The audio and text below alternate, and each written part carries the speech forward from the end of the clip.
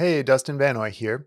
This video, I'm going to show you Azure Synapse Analytics Serverless Apache Spark with Python. So this is the PySpark API for working with Apache Spark.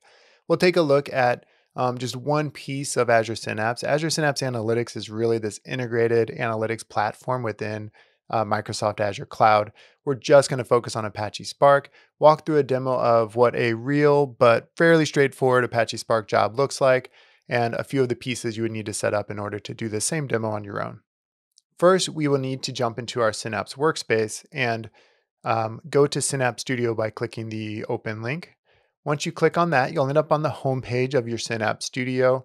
And first thing we need to do is make sure we have some data to access. I'm going to be using uh, data that you can get access to by going to your data pane, clicking on linked, and then if you don't already have a sample data set called uh, NYC Yellow, you can click, click the plus sign, go to Browse Gallery, and there's a lot of data available here. Feel free to, you know, explore your own data with similar types of commands to what I'll do. But if you want to follow along exactly, click on New York City Yellow, continue. Notice that it's in the East US Azure region. If you want to avoid uh, extra cost for data movement, you could put your resources over there in uh, uh, East US. Uh, and then go ahead and click add data set and you'll be ready to go. Once you've done that, you can go to develop and create a new notebook. In my case, I've already got a notebook ready to go. Uh, this is going to be a PySpark notebook. Uh, let's get this develop pane out of the way. Notice that the language says Python here. We also need to attach to a serverless Apache Spark pool. I'm going to use demo three.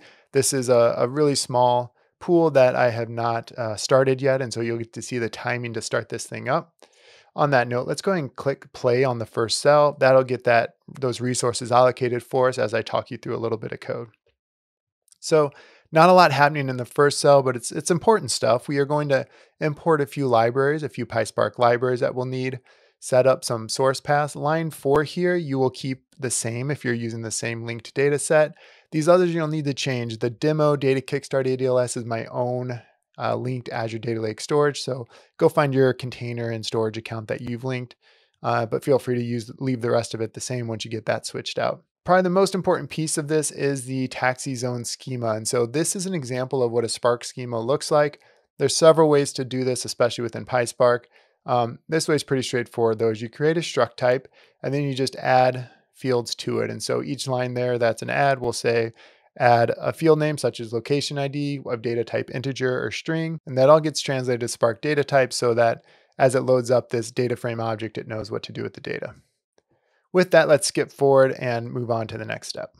Okay, so skipping forward, it took just under three minutes to get those resources started. Really, all that time was spent allocating resources for my pool.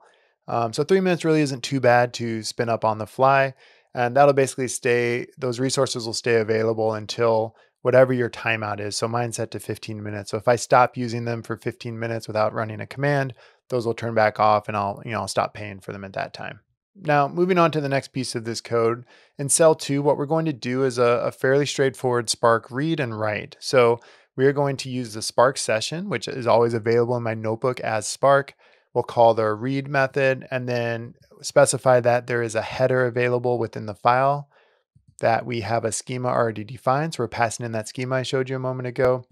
And then we're telling it that this is a CSV file, comma separated value file, and giving it the path to that file.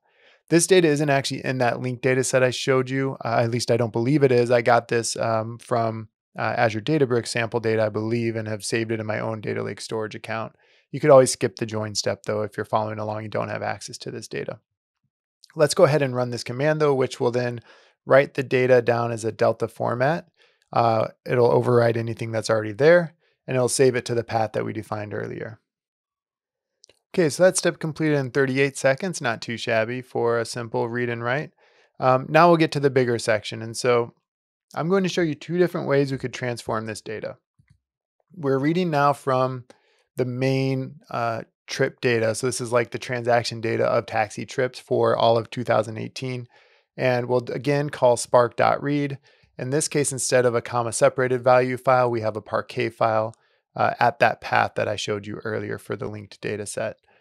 The first option we have of how we could transform this is uh, using this with column. So with column is a method that'll operate on one column at a time, and you can either overwrite the column or output a new column. So on line seven there, we are doing a with column that will output a new column called year month. We are using a few SQL functions, uh, regex replace and uh, substring to take a string formatted date time, grab the year and the month, and do year underscore month. And we'll use that field for partitioning later to just improve our read performance. Next, we'll look at uh, pickup date and drop off date, and we'll do a two date uh, tran transformation there. And finally, we will calculate tip percentage just by dividing the tip amount by total amount, just at a record by record um, level here.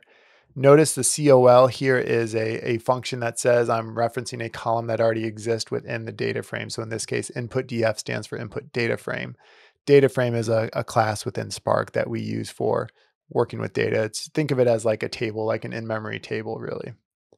Now, option B, the downside of this is I like the way this reads. I think it's pretty clean. The downside is it'll project each of these uh, with columns separately, and it gets a little bit messy in the explain plan. It can uh, slow things down a bit. So a way that's probably going to run faster in most cases with this size data even is to do select expression. This is like taking each item you pass in here is like a, a line in a SQL select statement. And so first I say select star, no big deal there, but it'll make sure I have all the columns available. And then we can go in and we're doing the same exact thing, just slightly different syntax because of this expression uh, way of way of defining it. So I'm calling a replace, uh, I'm calling the replace method on my pickup date time, getting only the left fields in order to basically get a year month out of that like I described. Doing a couple of date conversions, the F in front of the uh, quotation marks is telling us that we are doing some string replacement. We're passing in that date format field. And then uh, finally, we're calculating a tip percentage there. Uh, once uh, with that transform data frame, I want to join it to my lookup data I showed you earlier. And so we're going to define zone data frame as um, reading in the data that we saved for the taxi zones.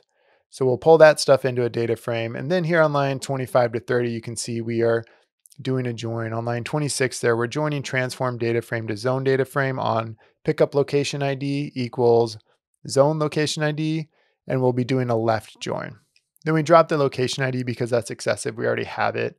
Uh, and then we can rename our, our fields to be more explicit about what they're defining.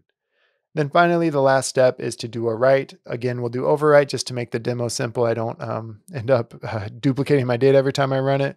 We'll partition by year month, which will give us access to filter on the year month when we're doing a read and really just cut down how much data we have to read in if we're targeting a single year month at a time. Save this as Delta, which is an optimized format for dealing with big data, especially within the Apache Spark ecosystem. And then we'll have to give it a path to save that to. Go ahead and run this and we'll, uh, as it runs, we'll take a look at some monitoring capabilities we have. As that's running, we can uh, look at the job execution uh, drop down to see how it's progressing. And so it starts off with about 240 tasks. These are like independent units of of work that happen within Spark, and then it's broken into much larger stages.